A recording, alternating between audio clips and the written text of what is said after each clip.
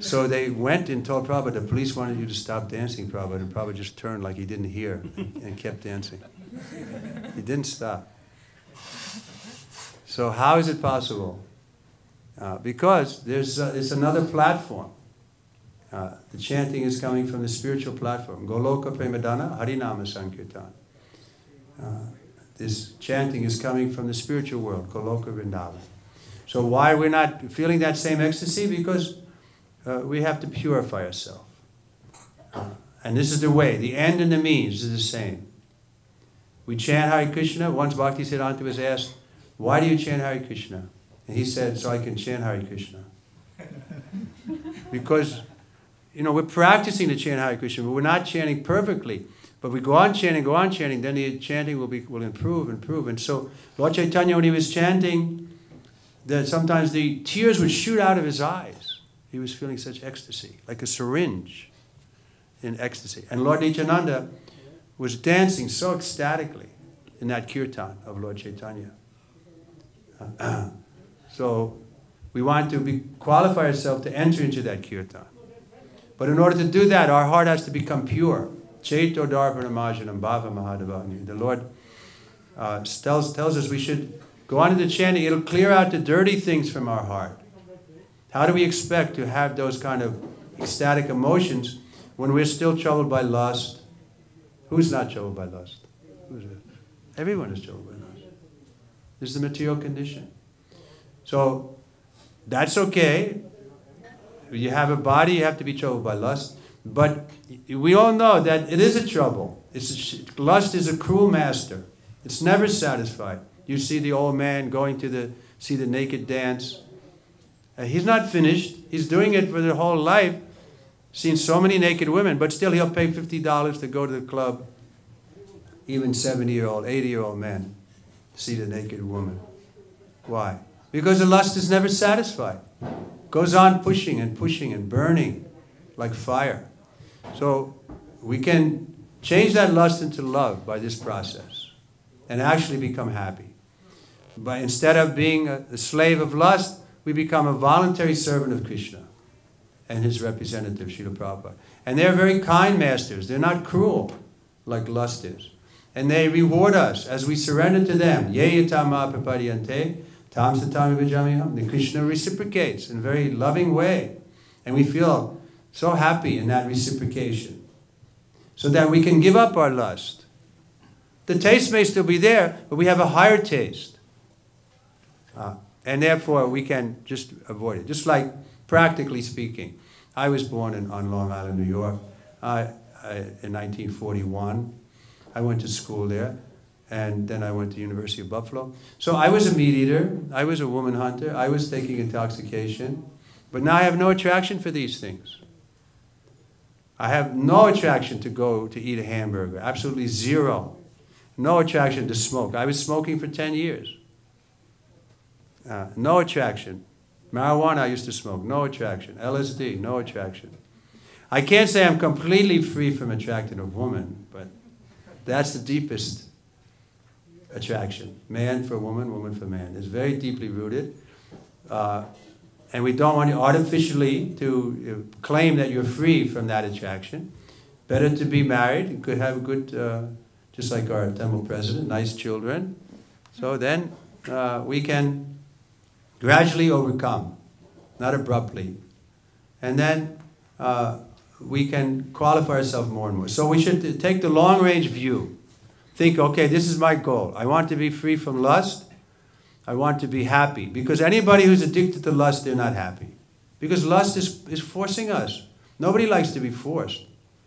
It's pulling us against our better judgment. Sometimes we use that expression in English, right? What a stupid jerk. A jerk is what? Somebody is being jerked against his will.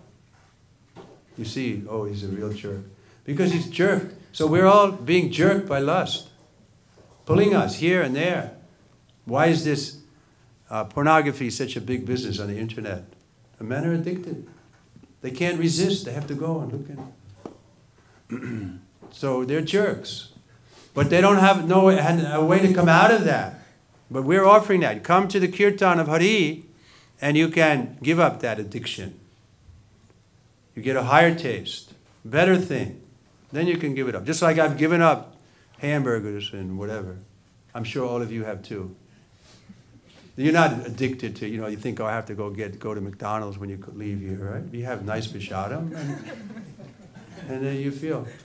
Uh, so in this way, gradually, we can become pure in our heart. So we'll see Krishna. Krishna's in our heart.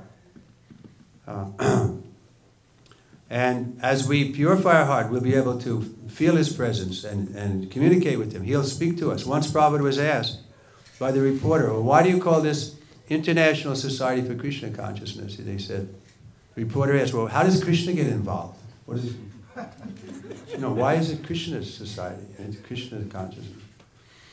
So the devotee was there, Rameshwar, he said, uh, he was speaking to the reporter, Prabhupada was sitting. And Rameshwar answered by saying, you see, Krishna gives us the intelligence, and this way uh, we can come to him, something like that.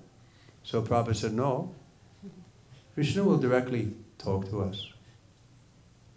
So this was Prabhupada's experience. Krishna was directly talking to him.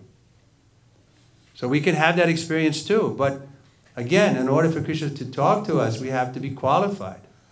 Just like uh, now we have President Obama. He's not going to come and talk to us, seek us out, because what is our qualification? But if we become very qualified, then he may want to meet us, or something like that. We, if we become, and what is the qualification? If we love Krishna. If we love Krishna, then he'll seek us out. So many examples are there. Just like Vidura, he was a lover of Krishna. So when Krishna went to on a peace mission to the Kuru kingdom, uh, Duryodhana was inviting him, oh, come and have dinner with us. But Krishna said no. He, he, went, he went to Vidura's house. Why to Vidura's house? He was a, a Sudra.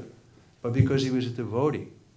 So Krishna preferred to be with the devotee. He sought him out. So many examples, like Haridas Thakur. Haridas Thakur was born in a Muslim family. By the strict Hindu, he was outcast, untouchable. But because he was great devotee and chanting the Hare Krishna Mahamantra so much, that Lord Chaitanya would go every day to have lunch with him. Uh, because Haridas Thakur wouldn't go to the temple, Jagannath He said, no, I am uh, I'm too, too uh, fallen to go to the temple. I'm too sinful out of his humility, being born in a Muslim family. He said, I'm too, I'm too sinful. My birth is so sinful. How can I go to the... The, the pujaris may uh, touch me inadvertently and then they'll go to hell. So he was so humble like that, he wouldn't even go to the temple. But the Lord himself would personally come to see him. So this is the, Prabhupada would sometimes tell us, don't try to see God, but act in such a way that God will see you. This is our, our process. So today, a nice auspicious day, Lord Nityananda's appearance. Yesterday we observed also. And uh, it's an impetus for us to become more determined. We have so many books. I think I'm not going to speak from the books today because it's already 7.20 and I'm sure many of you have to work tomorrow morning. So take uh, nice prashadam and remember the happiness of chanting Hare Krishna. Come regularly. And whenever you have opportunity in your house, sit together and chant Hare Krishna, Hare Krishna, Govinda Jaya, Jaya, Gopala Jaya. What is it? It's not difficult. Offer your food to Krishna, Patram Pushpam Phalam Toyam. He says, I'll accept it if you offer me in love. You can keep one room or one part of the room at least, a little altar there, offer your food. The ladies especially can. It's not a very difficult austerity. You don't have to stand on your head or do something uh, extraordinary. We all have to eat, so just offer to Krishna. And with some little love, and Krishna will accept it. Then just eating will purify us. And chanting Hare Krishna with our family members, what is it so difficult? Of course, you're always welcome to come here but it may not be practical to come every day. Uh, but we can worship Krishna every day. Another good, uh, you can say, advice is to get up a little early and chant because morning is the best time for chanting.